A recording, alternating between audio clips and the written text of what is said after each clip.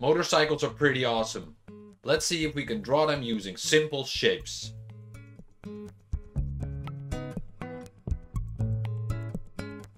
Drawing a motorcycle can be pretty difficult. There's a lot of objects sticking out, wrapping around, going under. It's mind-boggling. But instead looking for the detailed and the complicated shapes, we need to look for the big and simple shapes.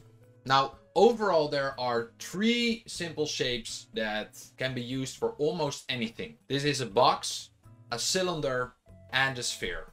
Now these shapes look a bit like this, but when we are drawing a complicated object like a motorcycle, we will also need to be able to adjust them, so take certain parts out. For example, like you see here at the rectangle, or we'll need to be able to change our cylinder, going from small to big.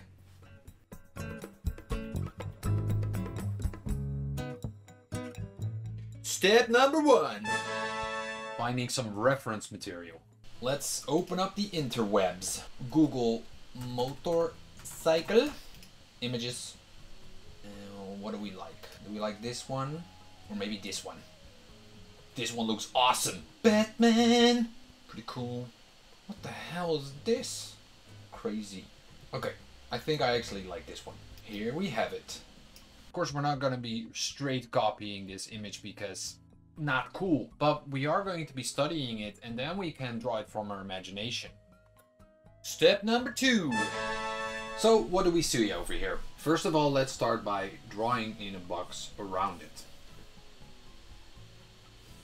And across through the middle because then we can measure a lot more what's happening on the left and on the right side. Now, first of all, what I see is that the highest point of the mirrors, it's very close to the center, but it's more towards the middle. The highest point. Now the wheels are approximately the same distance from the end. Let's call that X. Another thing I see is that if we take this middle line, that's actually almost the height of this part. So the middle line represents the height of the back. Another thing I see is that the angle of the tank is 45 degrees. The motor block seems very difficult to analyze, but actually if we make it very simple, it's actually this shape and then some parts are cut off. The exhaust seems to be going on the right side of the motor and comes out of the front. There's one seat. The distance between the front wheel and the motor is almost the same distance as the bottom side of the motor block to the ground.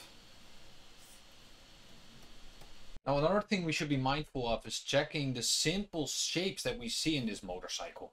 Now the most simple shapes I see in this motorcycle are actually this shape. Underneath it's just like a box and then we have a sort of triangle sticking out. And of course we see these spheres, or sorry, these cylinders at the beginning and at the end with a gap between them. So if I had to draw this very quickly over here, this is the basic shape of our motorcycle. So now that we studied the motorcycle and we know what the basic shapes are, we can work from big to small. And now drawing a motorcycle is easy. No, it's not. Alright, it's not easy, but it's a lot easier.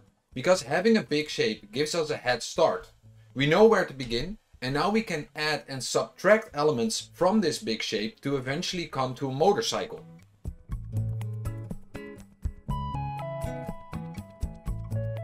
Step number three.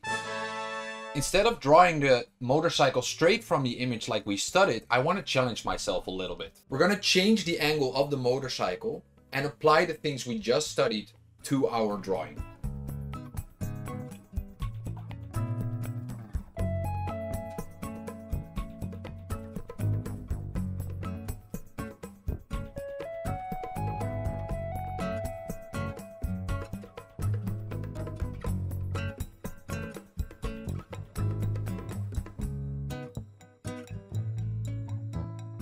Yeah, yeah. Okay, I think we did pretty good. So now let's check ourselves. All right, so let's get another colored pen, and there we go. We will also need the reference. Bam! Let's put you over here, motor. All right, so what are a couple of things that we see that are correct? First of all, the The wheels are on the right place. There seems to be... Yeah. Alright, so the overall shape is working. I also think that the proportions are pretty good. Mirrors are highest point. Now the exhaust isn't at the right spot, it's actually on the other side of the motorcycle. And although I knew this while drawing, I still did it because I just think it's awesome to put an exhaust over there. So it's a thing to be mindful of, but you can decide for yourself to not do it. Another thing I see is that the wheels are actually totally different than how I drew them.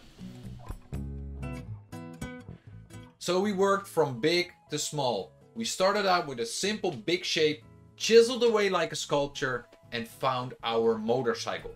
But you can use this method for drawing anything. For example, drawing a truck or a building, a frog, Darth Vader, a tiger, a small dog, a medium dog, a big dog, or a face.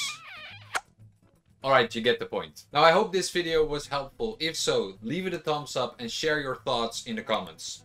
Also, consider subscribing to my channel and if you really want to learn something then check out my website. There's a lot of videos I have on Gumroad or Skillshare where I really teach something about drawing. But for now, I want to thank you for checking out this video and have a lovely day. Bye bye!